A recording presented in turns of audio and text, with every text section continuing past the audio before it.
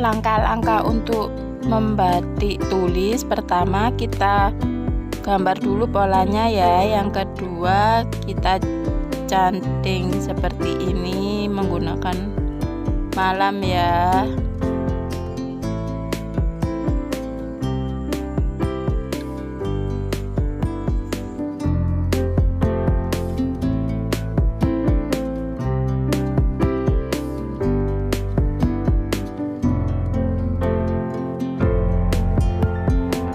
proses nyanting ini harus sampai tembus ke kain belakangnya ya.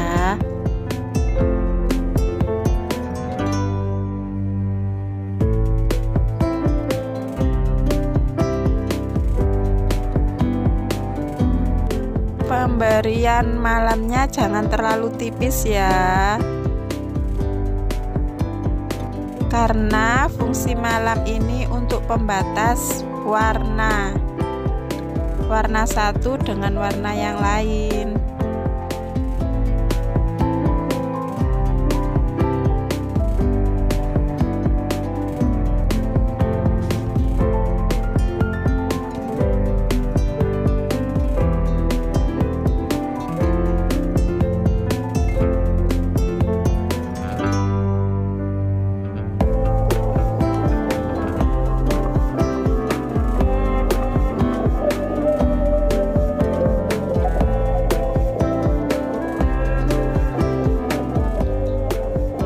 setelah semua pola sudah kita beri cantik seperti ini lalu kita taruh di tempat seperti ini ya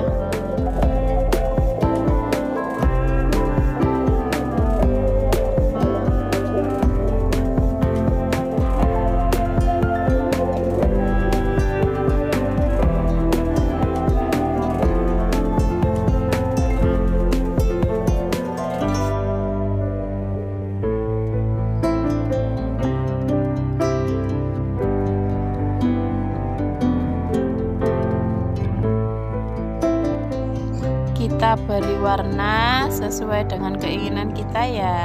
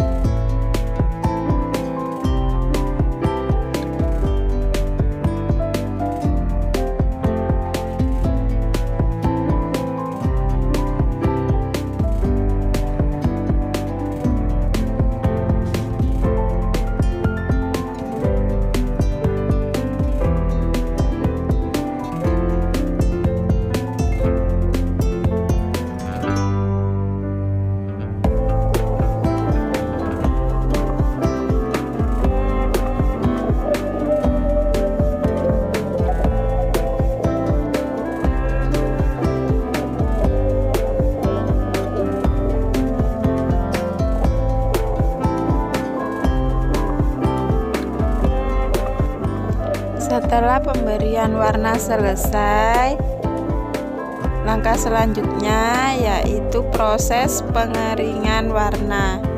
Kita keringkan jangan di bawah sinar matahari ya tetap di dalam ruangan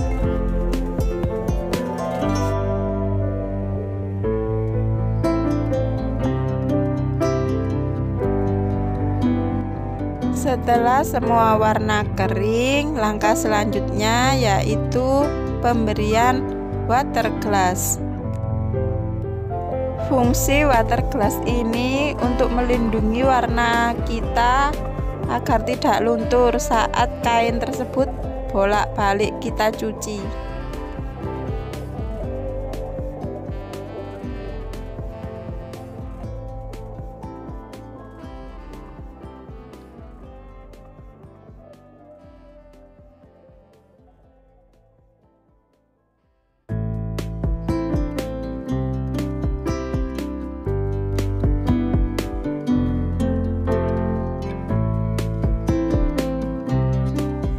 Lalu kita tunggu water glass tersebut sampai kering.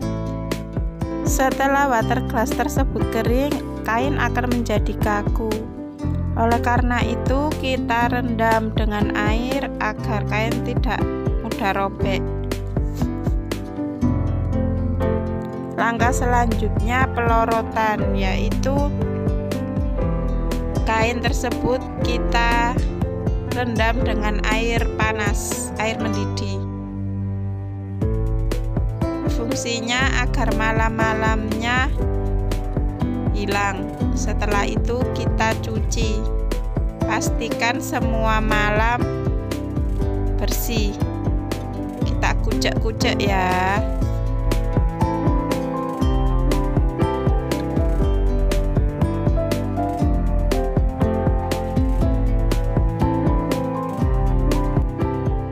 Proses terakhir yaitu pengeringan. Kita jemur kain tersebut ya